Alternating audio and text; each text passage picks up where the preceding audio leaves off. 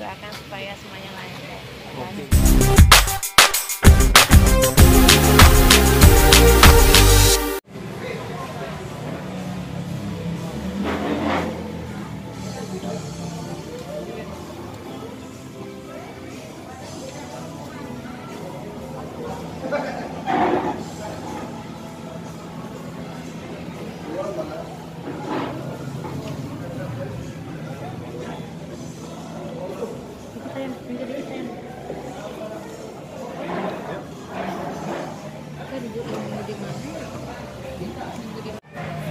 Arah Betawi itu.